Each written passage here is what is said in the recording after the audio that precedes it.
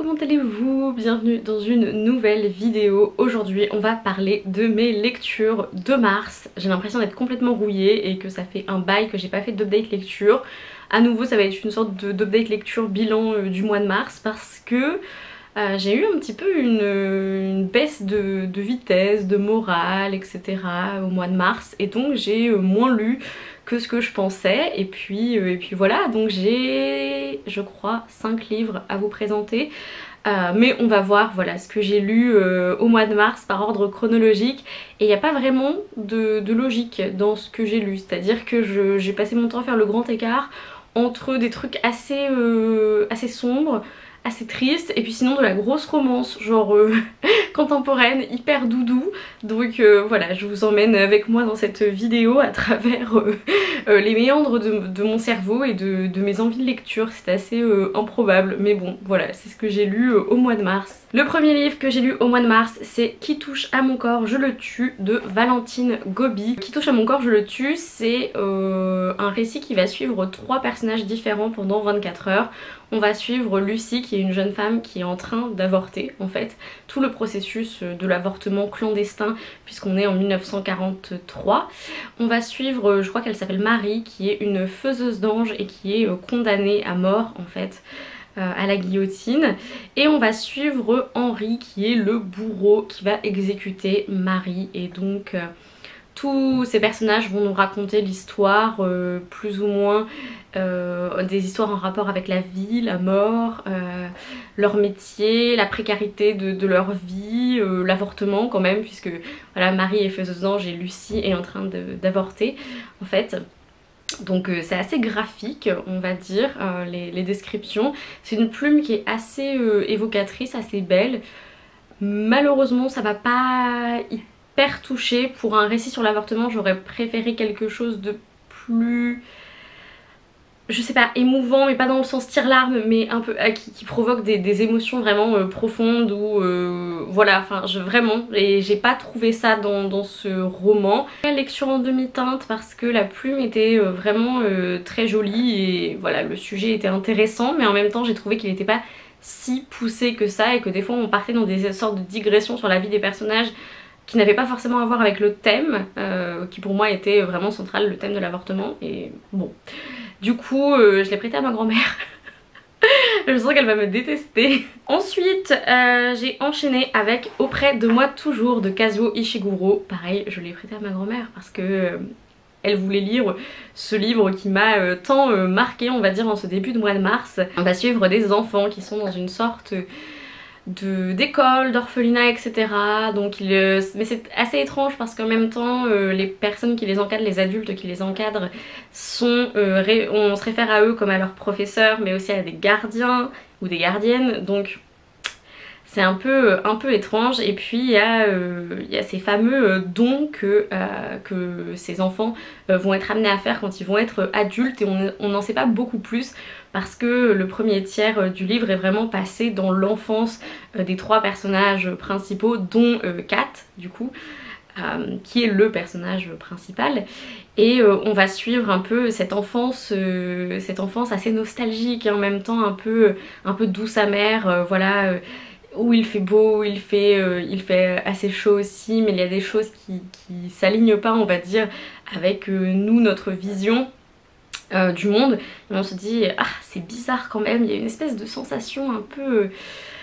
Ah, on est mal à l'aise quoi, il y, a, des moments où on se dit mais attends et on a l'impression de découvrir quelque chose et en même temps on se dit non c'est enfin, pas possible et finalement en gros ce livre va nous faire réfléchir à ce que c'est d'être humain, à ce que c'est d'être enfant et euh, qu'est-ce que c'est que, que l'humanité, comment on considère que quelqu'un est vivant, que quelqu'un est humain? C'était une énorme claque, vraiment. Et peut-être encore plus parce que euh, la plupart des personnages euh, sont assez résignés, il n'y a pas de rébellion en fait euh, par rapport à ce qui les attend. C'est un peu le fin mot de, l'histoire pour Auprès de moi toujours, perturbant, émouvant, une, belle claque et je trouve que la plume de Kazuo Ishiguro est vraiment magnifique. Et en même temps, euh, elle brille, on va dire, par sa simplicité, parce que le mec est, prix Nobel et sa plume était euh, vraiment euh, simple, fluide est très agréable et ça m'a donné envie de lire beaucoup plus de Kazuo Ishiguro, notamment sa dernière parution qui, est Clara and the Sun. Que je vois passer sur le booktube anglophone pas mal de fois.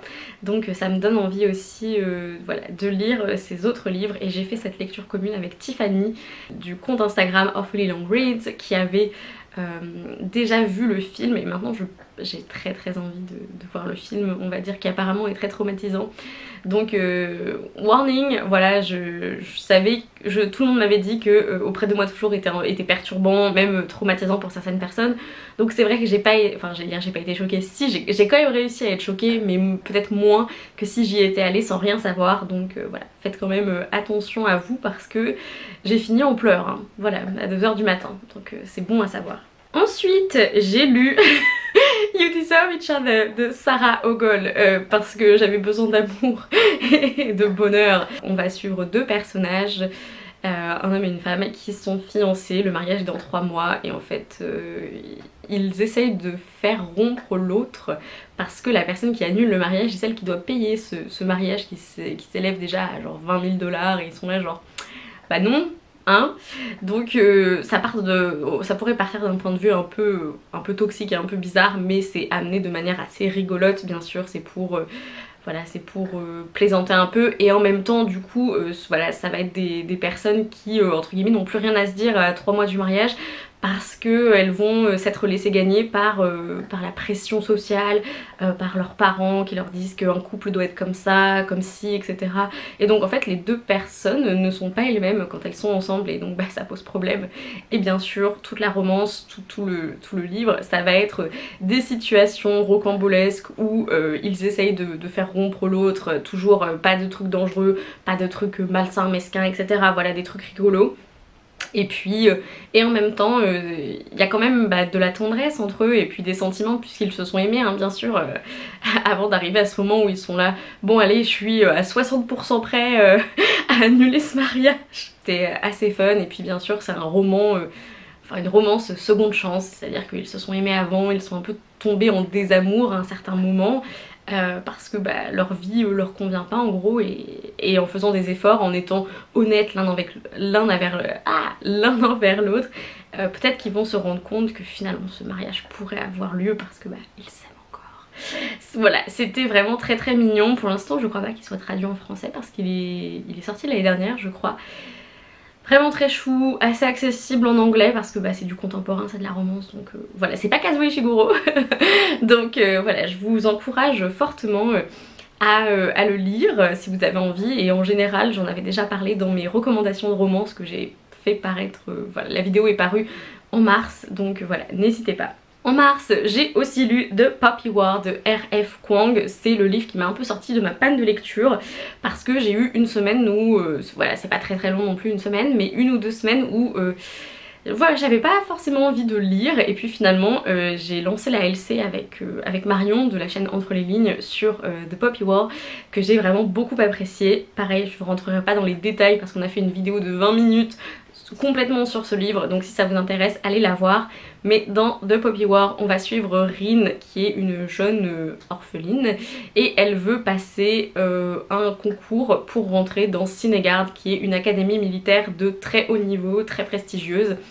Et euh, elle va réussir, c'est les dix premières pages, elle va réussir à rentrer dans cette académie militaire mais il va y avoir aussi des, Petit problème euh, voilà avec, euh, avec le fait qu'elle vient du sud, qu'elle a la peau beaucoup plus mate que les, gosses de riches avec qui elle est etc et puis qu'elle soit la fille de, personnes alors que tous les autres autour sont euh, des, enfants de, seigneurs de guerre. Donc assez fun. Et puis il y a la guerre voilà qui, qui, comment dire qui est en train de bouillir un peu en, dessous voilà en sous-sol. Et cette guerre va éclater d'ailleurs pendant ce premier tome absolument génial, euh, de la fantaisie adulte euh, qui, euh, qui, raconte, qui raconte version fantaisie l'histoire chinoise moderne et c'était juste top, j'ai adoré. J'ai lu la dernière romance que j'ai lue de ce mois de mars, donc la troisième quand même, qui est Act Your Age If Brown de Talia Hibbert. C'est euh, le dernier tome de la trilogie sur les sœurs Brown et c'est celui que j'ai préféré, même si j'ai dit le contraire euh, dans ma vidéo recommandation. Euh, je l'ai lu, du coup j'ai lu Act Your Age juste après et je l'ai tellement adoré, c'était trop bien. On va suivre la dernière sœur Brown qui est Eve et que voilà, on lui dit tout le temps qu'il faut qu'elle grandisse, elle sait pas trop où elle en est, quelle carrière elle veut poursuivre, etc. Elle a déjà 26 ans euh, et, voilà, ses parents lui mettent un peu la pression pour euh, savoir ce qu'elle va faire dans la vie parce qu'elle arrive jamais à finir quelque chose en fait. Et donc elle va euh, de manière très s'enfuir de chez elle, conduire sous la pluie, voilà jusqu'à un petit, une petite, un petit village. donc ils sont dans la région des lacs au Royaume-Uni le Peak District je crois. Et euh, elle va s'arrêter devant un petit bed and breakfast euh, qui euh, comment dire? Je suis déjà comme ça en elle va s'arrêter du coup devant un petit bed and breakfast et elle va voir que surprise il cherche une cuisinière. Ou un cuisinier d'ailleurs. Et donc elle va rentrer passer l'entretien d'embauche qui se passe très très mal parce que du coup elle euh, c'est pas du tout le délire du chef euh, du, bed and breakfast parce qu'elle est vraiment super rigolote, hyper, euh, hyper solaire, c'est vraiment quelqu'un de, fun en fait et qui aime les couleurs, qui aime la vie, qui aime rire et tout. Et lui il est assez carré en fait, hein, tout simplement il, il, la voit pas du tout travailler avec lui au bed and breakfast. Et en repartant, elle va elle, elle va l'écraser, non elle l'écrase pas, euh, elle le renverse avec sa voiture. Et du coup il a le bras euh, en écharpe ce qui l'énerve encore plus. Et euh, elle va se sentir un peu obligée de rester pour l'aider quand même parce qu'il peut plus rien faire, il a le bras en écharpe. Et donc elle va commencer à travailler au bed and breakfast. Et... Et la romance va s'en suivre, donc top, parce que un personnage féminin qui était plus size et qui était aussi noir, donc euh, voilà, super. Et un personnage euh, masculin euh, qui est officiellement, je crois, autiste. Et elle aussi, Yves, qui se rend compte qu'elle est sur peut-être sur le spectre autistique. Donc c'était vraiment top. Que ce soit au niveau de l'alchimie entre les personnages, j'ai rarement vu une alchimie aussi, aussi cool. C'était un Enemies to Lovers mais tellement drôle, tellement chaleureux, tellement solaire, etc. C'était vraiment top. Euh, deux trois scènes un petit peu euh, chaudes mais euh, voilà comme dans pas mal de romances adultes on va dire ça prend pas du tout toute la place et on peut très facilement voilà les sauter si, si on veut pas lire des choses trop explicites j'adore les romances de Talia Ebert euh, elle fait toujours des, couples qui vont très très bien ensemble, qui, ont énormément d'alchimie, qui sont aussi très sains, euh, très, euh, très safe l'un pour l'autre et qui sont toujours dans le respect, le consentement, etc. Et ça c'est vraiment top et pour moi c'est assez essentiel. Pour, pour des romances adultes. Donc là on a tout, on a le Enemies to Lovers, on a la représentation, on a de l'alchimie entre les personnages, on a un petit bed and breakfast dans un village anglais. Ah, c'était juste génial et donc voilà, je crois que c'est mon tome préféré de cette, de cette série et donc je vous le recommande à 300%. Et enfin, dernier livre que j'ai lu en ce mois de mars, début avril, je l'ai fini hier et là on est le 2 avril quand je tourne cette vidéo. Il s'agit de De sel et de fumée de Agathe Saint-Maur. Je l'ai acheté sur les conseils de Tiffany, du compte Instagram Awfully Long Reads parce que ça a été un de ses coups de cœur de la rentrée euh, littéraire de janvier. C'est le premier roman de l'autrice du coup Agathe Saint-Maur et j'avais très très envie de découvrir ce livre qui va nous parler de Lucas et Samuel. Euh, je continue à garder le sourire mais euh, c'est pas hyper joyeux comme livre puisque on apprend dès le début que Lucas est décédé ça a un rapport avec, euh, la manif euh, pour tous en fait. Euh, c'était aux abords d'une manif pour tous. Samuel raconte Lucas, l'amour, le désamour, le sexe après l'amour, l'amour après la mort de Lucas.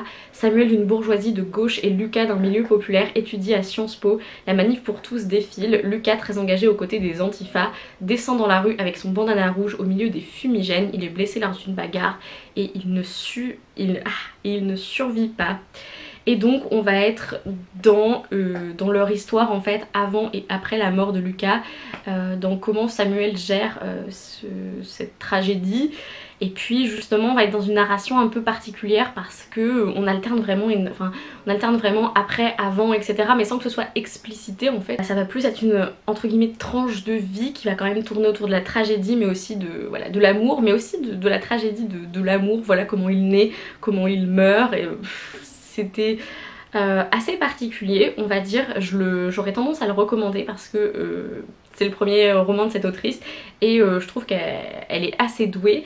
la plume est assez jolie aussi. À certains moments par contre, contrairement à Kazuo Ishiguro, je l'ai trouvé très alambiquée, un petit peu empoulée en fait. je trouvais qu'il y avait énormément de fioritures à certains endroits qui pour moi n'avaient pas lieu d'être et justement ça me mettait une distance avec les personnages, ça me mettait une distance avec ce qui était en train d'être dit parce que ça me sortait complètement de, cette, de cette histoire, de l'histoire de Lucas et, Samuel.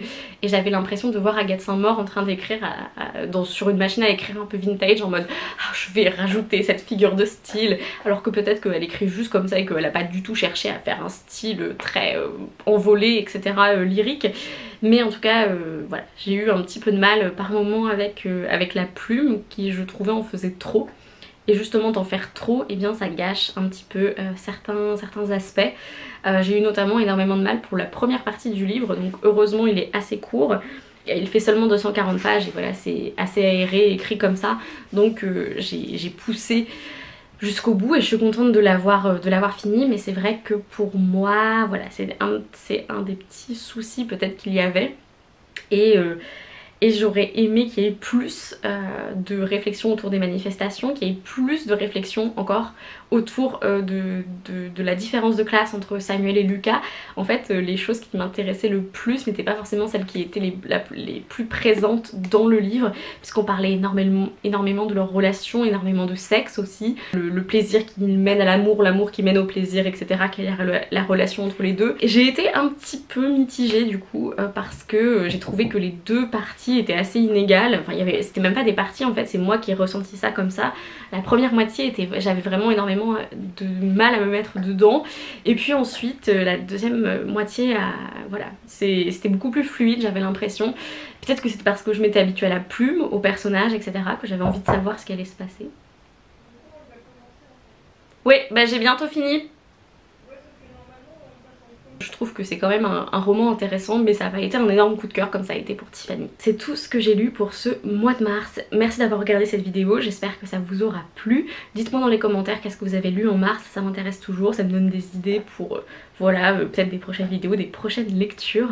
Et en attendant une prochaine vidéo, lisez bien, amusez-vous avec vos lectures, prenez soin de vous et ciao